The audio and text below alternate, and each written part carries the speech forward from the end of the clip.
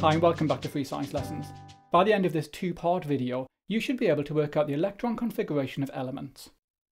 Okay, in the last video we saw that an atomic orbital is a region around a nucleus that can hold up to two electrons with opposite spins.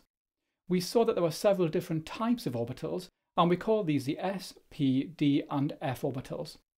We also saw that a subshell consists of all of the orbitals of the same type in the same shell, and I'm showing you the 3D subshell here. So in this video, we're going to look at how we assign electrons to different atomic orbitals. The first key idea you need to understand is that different subshells have got different energies. I'm showing you the energies of some of the subshells here. Now I should point out that at this stage, I'm only looking at a small number of subshells. We'll be looking at the rest in the next video. As you can see, as we move away from the nucleus, the energy of the subshells increases. Now, in order to show how electrons fill the orbitals, we need to follow three rules. These are quite straightforward, so let's look at them now. Firstly, orbitals with the lowest energy are filled first. Secondly, we can have up to two electrons in the same orbital, but they must have opposite spins. And lastly, if we have orbitals with the same energy, then we put electrons into individual orbitals before we pair them. And that's because electrons in the same orbital repel. Coming up, I'm going to show you some examples of how to put electrons into orbitals, and I'll give you one to try for yourself. Okay, so let's look at some examples of how to put electrons into atomic orbitals. We're going to start with hydrogen, which has got one electron. In this case, the lowest energy orbital is the 1s orbital in shell 1.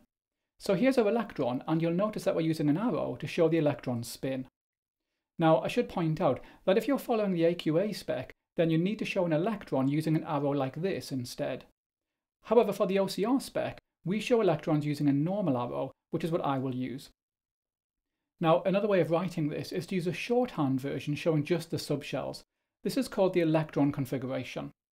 In the case of hydrogen, the 1s subshell contains one electron, so the electron configuration of hydrogen is 1s1. Let's look at the element helium. Helium has two electrons. Again, the lowest energy orbital is 1s, so our first electron goes there. Remember that each orbital can hold up to two electrons, so that means that our second electron can also go into the 1s orbital. Now you'll notice that we flipped the spin of the second electron, and that's because electrons in the same orbital must have opposite spins.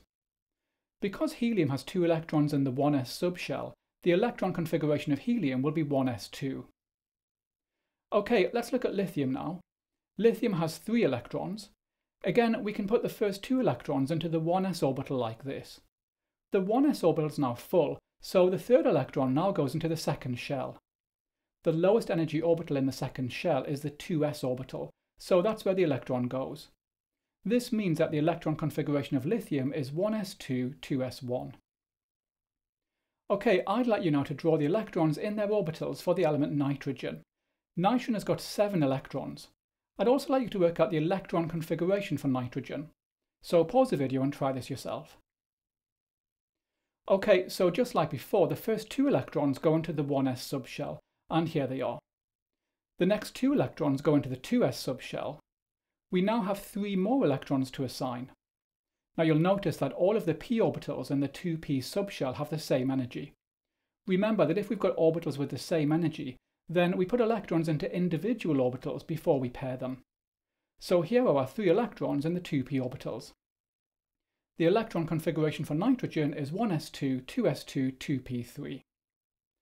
As you can see, the electron configuration does not show the individual orbitals in the 2p subshell, and that's because the electron configuration only shows the subshells, not the individual orbitals. In the next video, we look at more complicated examples of how orbitals are filled, and we look at two elements that are exceptions to the rules and explain why.